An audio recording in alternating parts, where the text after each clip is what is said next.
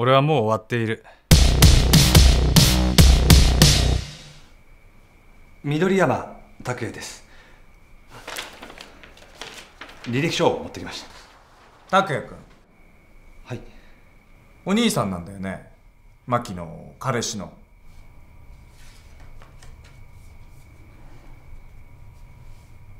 え？違うの？そそうですそうです。そうなんですよ。ね？そうですよね。はいそうなんですけど。マキのコネで来たってことだよな。そういう言い方は。はい。そうなんですが今日はマキちゃんとかそういうのなしで僕個人が使えそうなら雇ってください。言われなくてもそうするよ。すいません。仲良くやりましょう。あすいません。前の会社なんで辞めたの？はい。えっと上司と喧嘩しまして。嘘だな。本当は？嘘。本当は？なんで辞めたの？そうなんですか？あいいや上司と喧嘩しまして。もういいや。帰って。えんななんでですか？お前と話すこともうないいや社長マキさんからお願いされてるわけなんでここで返すのはいかが？出しゃばんなって。あここここ？あ洋服屋さんになる予定なんですけどたけさん接客の経験とかありますか？はい。コンビニで昔働いてました。何か苦手なこととかありますか？いえ何でもやります。何でもやるんだ。ここ洋服屋になるんですよね？そのつもりだけどまだ決めてない。マジっすか？特技を。特技。何か特技はありますか？特技。ドラムです。じゃあやって。はい。ドラムが。あればドラムないとできないの？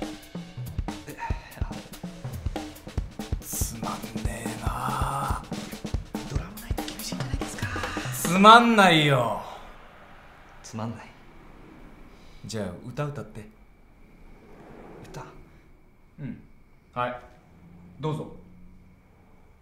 歌。えあえあはい歌。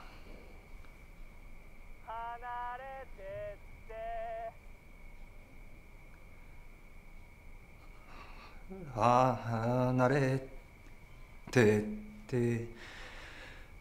くっついてて。はじき合っても。消えゆかないで。こっちへ来て振り向かないで。忘れないで。思わないで。ただただ。もう一回。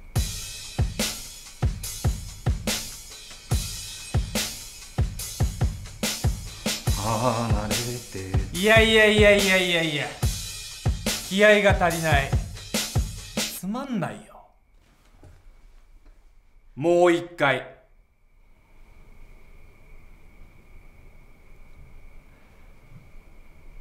離れて。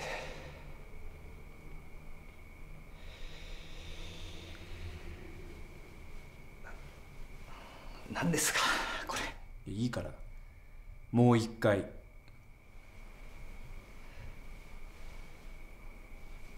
何でもやるんだろ。すいません。もういいです。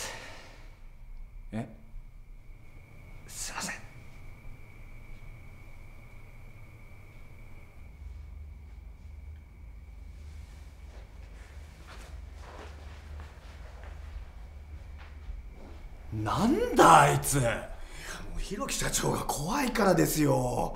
もう俺はすぐ雇ってくれたのに。目が死んでるやつはいらない。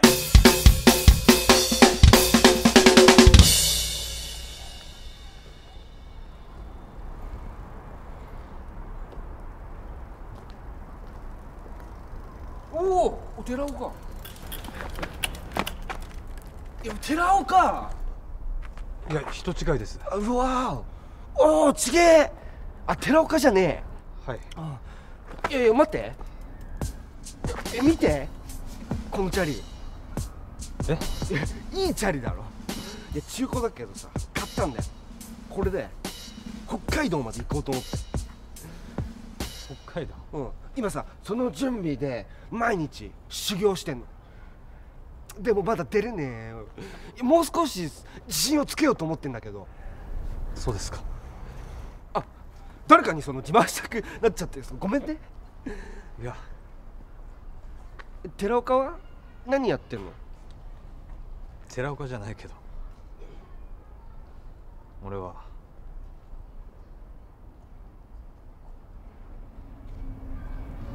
俺は何もやってない。え？今仕事の面接受けてきたんだけど逃げてきちゃった。あマジか。うん。逃げちゃったんだ。うん。まあいろいろあるんだよ人生。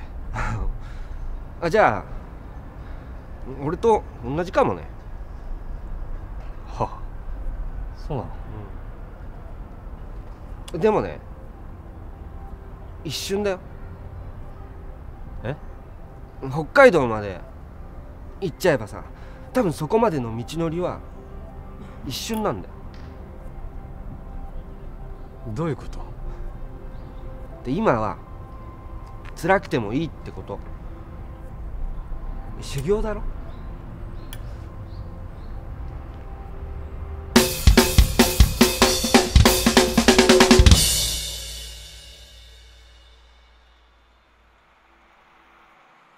嘘だな。弘樹社長に嘘を見抜かれた。確かに俺が会社を辞めた理由は上司と喧嘩したわけじゃない。振られたからだ。彼女に振られて同じ職場だった彼女から逃げるように仕事を辞めた。彼女は俺のことをつまらないと言った。8年付き合って最後につまらないと言って去った。大好きだった彼女には振られ無職になった。俺はもう終わっている。人生のピークはとうに過ぎた。俺は楽しかったから彼女につまらないって言われてもよくわからなかったよ。だからクソみたいな毎日を送ってる。でもまあいいんだよ俺は。俺はっていうかみんなそうだろ。みんなもクソみたいな毎日を送ってんだろ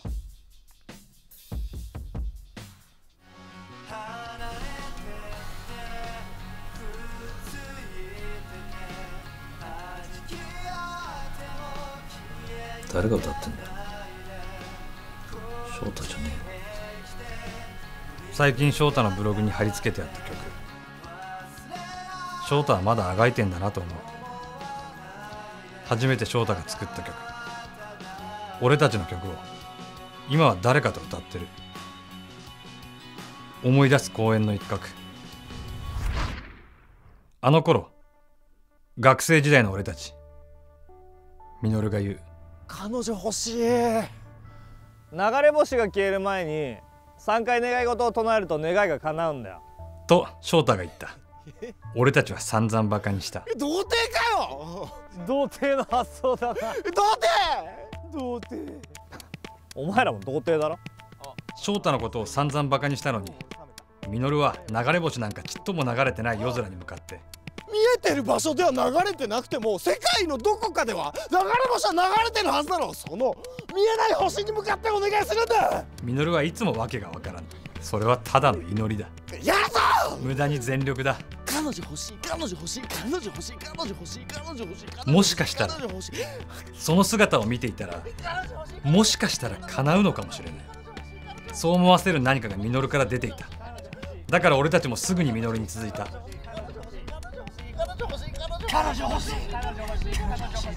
童貞の俺たちはゾンビみたいに立ち尽くしてただひたすら彼女欲しいとつぶやいていたずっとそれはもう彼女欲しい一心でずっとつぶやいていたあのあと翔太が話しかけてくれなかったら朝までやってたかもしれない。なあ実はさ俺実はさなんだよ曲作ったんだよ。曲？音楽とかの曲？どうしたんだよ突然。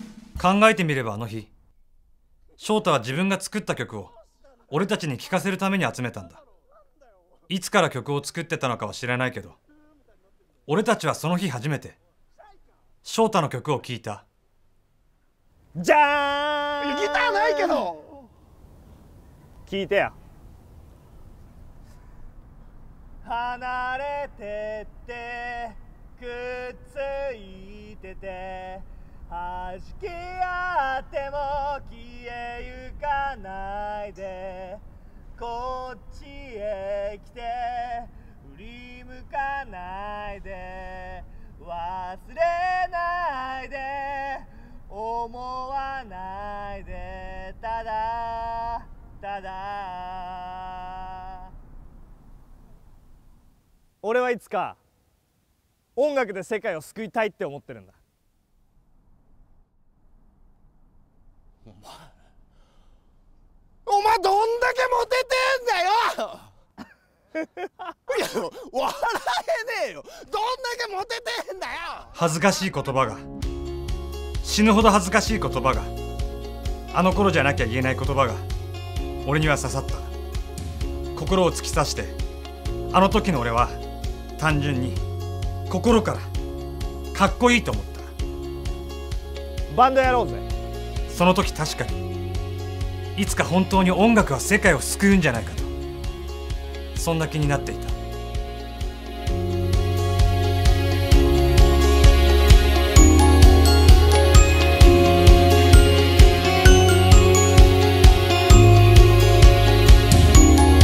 おっ俺ミノル。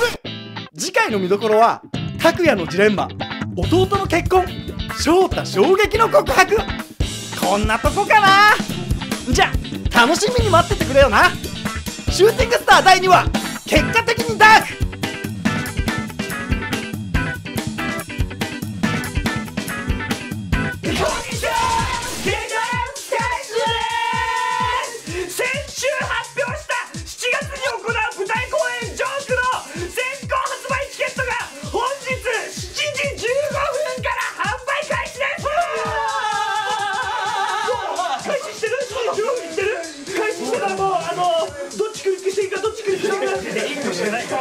日付がいっぱいあるはい。この動画の詳細欄にあの先行販売チケットがねあの購入できるリンク貼っておきました、はい、ぜひ一度もう本当に一度だけで一回見に来て舞台公演を一回見に来てください。一人でも全然あのみんなスカッシュファミリーが来てるからもうあのもうみんな来てる人はスカッシュファミリーなるほど。